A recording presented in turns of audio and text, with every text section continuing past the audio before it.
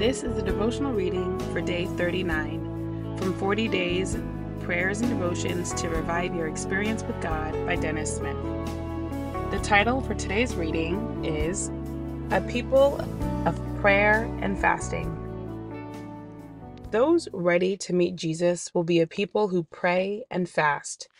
They will follow the example of Jesus in every way, including Jesus' prayer life. Jesus began his ministry with 40 days of prayer and fasting. At times, he spent entire nights in prayer. Prayer was necessary for him to stay connected with his Father and be strengthened for his daily conflicts with Satan. Before Jesus entered into the 40 days of prayer and fasting, he was filled with the Spirit as an answer to prayer at his water baptism. Quote, when all the people were baptized, and it came to pass that Jesus also was baptized, and while he prayed, the heaven was opened. And the Holy Spirit descended in bodily form like a dove upon him, and a voice came from heaven which said, You are my beloved Son, in you I am well pleased. Luke chapter 3, verse 21 and 22. The baptism of the Holy Spirit was a major factor in Jesus' spiritual life. The same will be true of those ready for Christ's return. They will be like a spirit filled people who have a consistent, powerful prayer life. They will have this kind of prayer life because they will be filled with God's Spirit, which is also the spirit of intercession. Quote, and I will pour on the house of David and on the inhabitants of Jerusalem the spirit of grace and supplication. Zechariah chapter 12, verse 10. It is the Holy Spirit that keeps giving them the desire to pray. In fact, the Spirit calls them to pray, directs their prayers, gives them faith, and empowers their prayers. In short, they continuously pray in the Spirit as Paul counsels.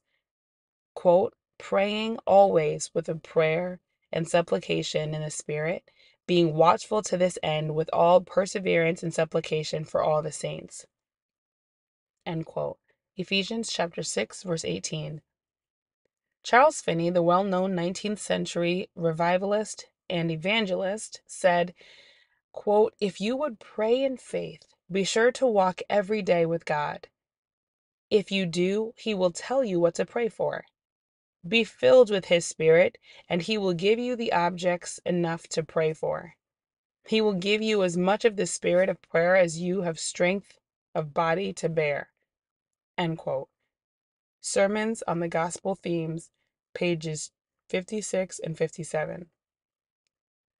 God's last day remnant people know that prayer releases the power of God.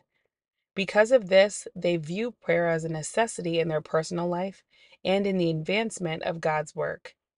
They know that from the beginning, God intended to work through man and not independent of him in carrying out his will on earth. They know that when God wills to do something on earth, he impresses his people to pray for that very thing. Many statements by Jesus confirm this truth. In the Lord's Prayer, Jesus told us to pray that, quote, your will be done on earth as it is in heaven, end quote. Matthew chapter 6, verse 10. When he saw so many people suffering, he felt compassion for them and told us to, quote, pray the Lord of the harvest to send out laborers into his harvest, end quote. Matthew chapter 9, verse 38. Those ready to meet Jesus will also be a people who fast. When Jesus said, quote, when you fast, end quote, Matthew chapter 6, verse 16, he was directing his disciples to take time to fast.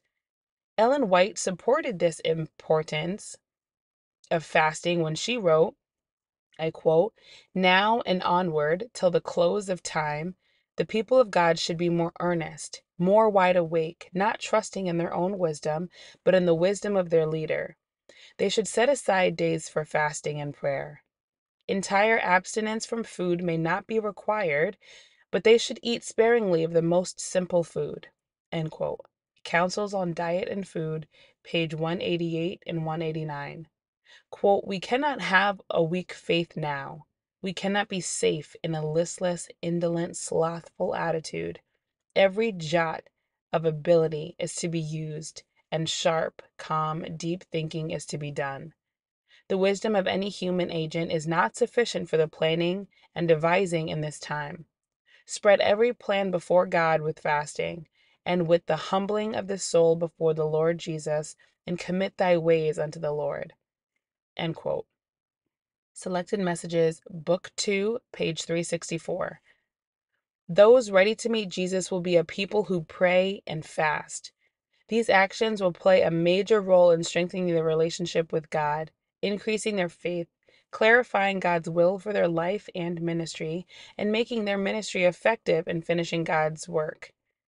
If you want to be among God's last day remnant people who are ready to meet Jesus, you must become a spirit filled man or woman who consistently prays and fasts on a regular basis. This is God's ordained way, the only way.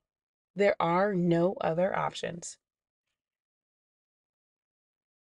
Personal reflection and discussion. 1. What kind of prayer life did Jesus have? 2. What does the baptism of the Holy Spirit do for the Christian's prayer life? 3. Why is prayer necessary for God's will to be carried out? 4. Why is fasting important for the Christian's life? Prayer activity. Call your prayer partner and discuss this devotional with him or her. Pray with your prayer partner. 1. For God to baptize you with the Holy Spirit. 2. For God to revive you and His church. 3. For God to lead you to pray and fast in the Spirit. 4. For the individuals on your prayer list. Dear God, thank you for the ability to do your will. Be with your people. Provide us with health and strength. Thank you for all that you've done in our lives and all that you continue to do. Give us the strength to pray daily and without ceasing. Allow us to draw closer to you through your word. Make us spirit filled people who have a consistent and powerful prayer life.